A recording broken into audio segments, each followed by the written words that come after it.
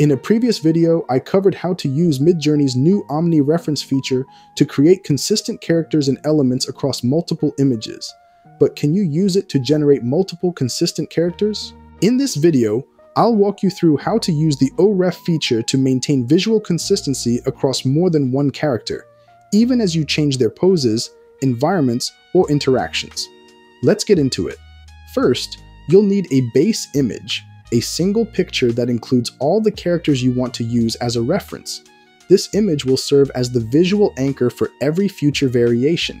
Since Midjourney currently supports only one image with the OREF parameter, you'll either need to generate an image that features all your characters together or create a composite by combining individual character images using an image editor like Canva. I used this image from Pixabay, and as you can see, the results weren't great.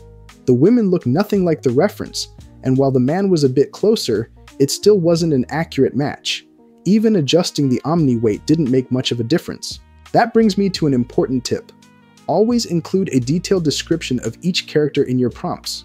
You can reuse the same descriptions you originally used to generate the characters, or upload the images to ChatGPT and ask it to describe the characters, focusing specifically on physical features and clothing. This extra context helps Midjourney stick to your character design more reliably. When I included a detailed description of both characters in the prompt, the results improved noticeably, though it was still somewhat hit or miss. I got good results with this image too. The man's physical features were more consistently preserved, but the clothing for both the man and the woman remained consistent across generations. The art styles did vary somewhat, likely because the woman's reference image had a more airbrushed, semi-realistic look compared to the man's, and that stylistic difference carried over into some of the outputs. I had a hard time getting a consistent look, especially for the woman in this example, even with a detailed character description. None of the generated women really resembled the reference. To try to fix this, I enlarged her image in Canva to make her face more prominent, but that didn't help either. Another issue I ran into was the frequent appearance of split screen style images. I suspect this happened because the backgrounds of the reference images were very different from each other. Prompt structure also seems to play a role. In one attempt, I prompted the man first and described him walking next to the woman, which often resulted in a split look. But when I changed the wording to a man and woman walking together, the split screen issue disappeared. Increasing the omni weight also seemed to cause the characters to appear side by side, almost like two separate frames. In the end, one of the most effective ways to get consistent results is to make sure your reference image has a consistent, or at least visually matching background. Even if you remove the backgrounds of your character images in an editor like Canva, Midjourney may still interpret subtle visual cues from the original image, such as lighting, shadows, or contrast differences. As demonstrated in this example, I removed the backgrounds of the character images in Canva, but Midjourney still generated results where the characters appeared in noticeably different backgrounds. This likely happened because it retained and responded to the visual differences between each character, even with a neutral or transparent background, especially when using higher omni weights, like 400 or above. At higher weights, Midjourney is more strict about preserving everything from the reference image, not just faces and outfits, but also implied lighting and spatial separation. That said, prompting plays a huge role too. I was finally able to resolve the background inconsistency by specifying in the prompt that the characters were looking at each other. This gave Midjourney clear context that they were meant to be part of the same scene, interacting with one another, forcing it to unify the background accordingly. Or you could just generate the characters together in a single Midjourney image instead of creating a composite from separate sources.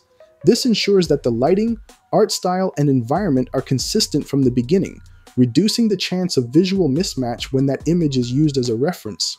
Overall, I'd consider this example a failure due to the woman's inconsistent appearance compared to the reference image. The man, in my opinion, looked much more consistent throughout. I started to wonder if something about the woman's image was causing the issue, so I replaced her with the woman I used in my first Omni reference video, the one that produced good results. I also updated the prompt with her character description, and the improvement was immediate. It might be because the first woman has softer, more subtle features, while the second woman's features are more bold and striking, like her large blue eyes, prominent freckles, and defined lips. That said, I was able to get consistent images of the woman when generating her by herself. I thought it would be interesting to create some new images using characters from my previous videos on consistent character generation. You might not remember, but the girl was originally created in ChatGPT using the DALL-E 3 consistent character GPT, while the boy was created in Midjourney.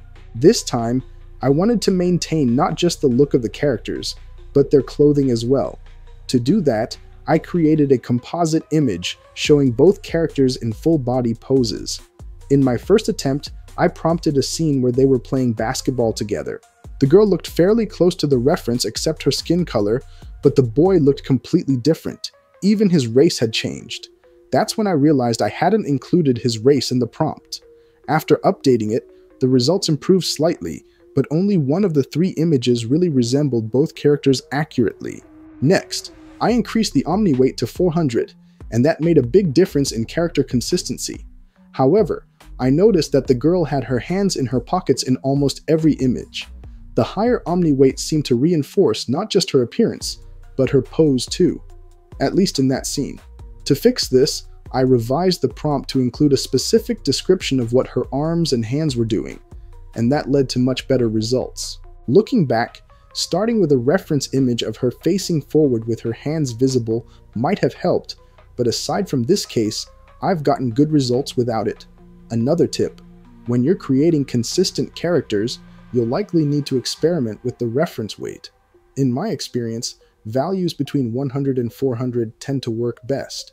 Here are a few more images featuring both characters together.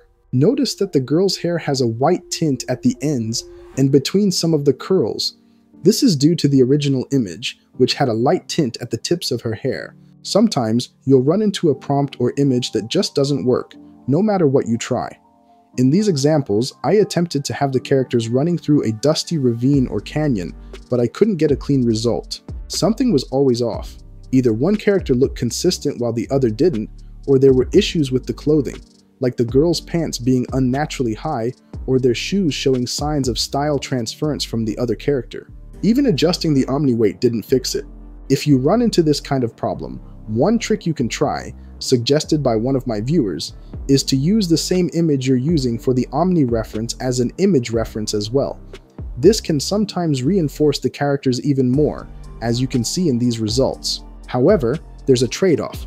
Using an image reference also reinforces their poses and facial expressions. So if you want more variation in their movement, expressions, or positioning, you'll need to lower the image weight. In version 7, image weight accepts values from 0 to 3. The higher the number, the more influence the image has over the result. In this case, I lowered the image weight to 0.3. That gave me a bit more flexibility, though it did reduce character consistency slightly. I found that at point 0.2, the consistency dropped even more. So, I bumped the Omni strength up to 400 while keeping the image weight at point 0.3 and updated the prompt to include different facial expressions and arm movements while running. Two of the final images came out great, but then there's the third one, which randomly included a third character. Not sure why that happened, but hey, this is AI. Sometimes it just does its own thing. Here's another example that turned out really well. Sometimes it's better not to use an image reference at all. In this example where I tried to have them riding their bikes, I actually got better results using only the Omni reference. Up to this point, the results have been mostly good, but what happens when we increase the number of characters to three or more? To test this, I used three of the Pirate Kid images from a previous tutorial on creating multiple consistent characters in ChatGPT. I also reused their character descriptions from that video. The results were surprisingly good. While not every image was perfect, I was able to get at least two usable results from each generation. That said, there were still some inconsistencies, like slight variations in their clothing. Then I tried adding a fourth character, Pirate Paul, and things didn't go as well.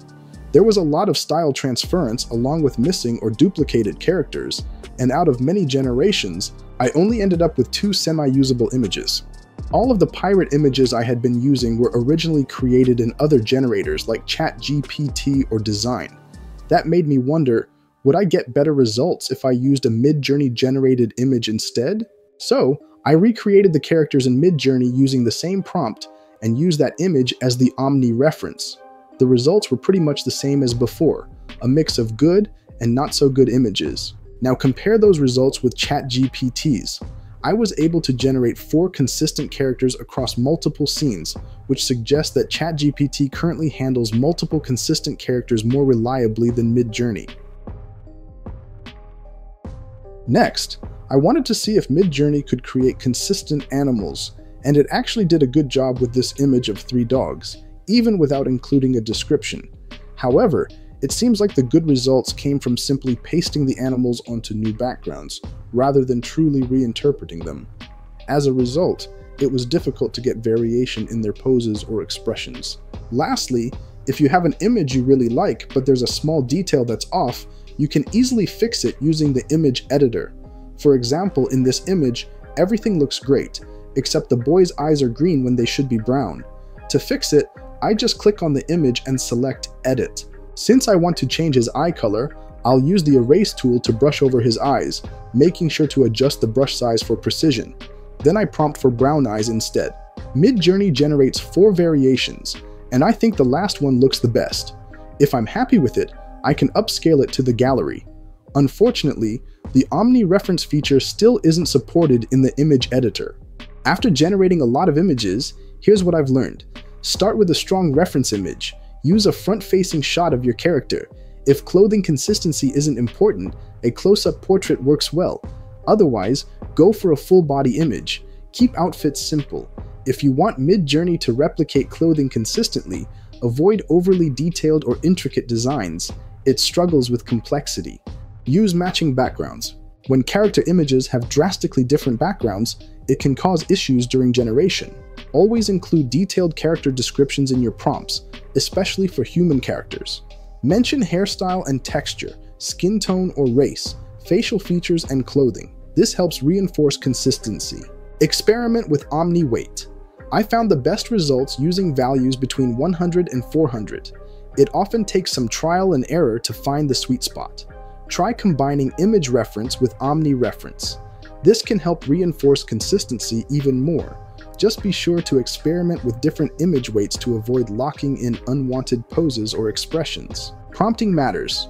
For example, when using a composite reference image, describing how the characters interact can help Midjourney treat them as part of the same scene. More than three characters can be problematic. Once you go beyond three, consistency tends to break down.